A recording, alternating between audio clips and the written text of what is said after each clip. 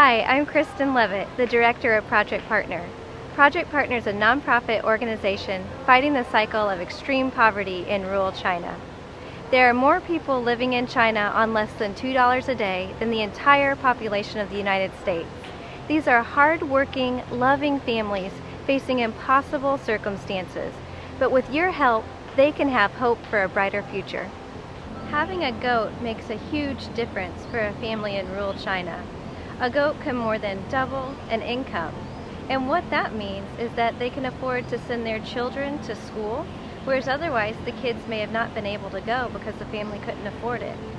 So a goat can bring more income to the family, and it also means that the father can stay home with his family. And so a goat makes a dramatic difference for a family in rural China.